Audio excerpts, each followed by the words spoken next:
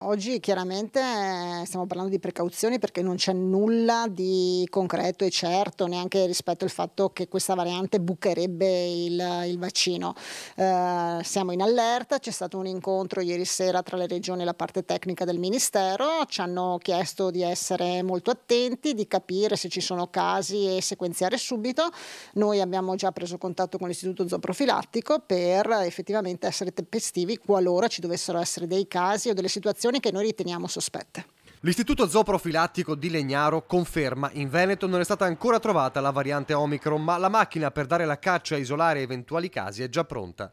La speranza è che la temuta mutazione sudafricana, definita dall'OMS la peggiore finora vista, non appaia nel nostro territorio, ma il fatto che sia già sbarcata in Europa, in Belgio e Gran Bretagna non fa dormire sonni tranquilli.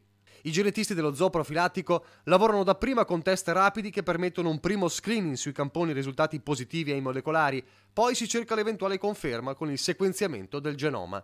Secondo gli esperti, solo la valutazione sul campo potrà dire se gli attuali vaccini proteggono da quest'ultima variante, come è stato per quelle precedenti. L'unica certezza in Veneto è il contagio inarrestabile che caratterizza la regione in queste settimane. Anche oggi siamo a 2100 positivi, eh, abbiamo aggiunto posti in più sia in terapia intensiva che in area non critica, mi sembra 90 in terapia intensiva e 488 in area non critica, quindi i numeri salgono giorno dopo giorno.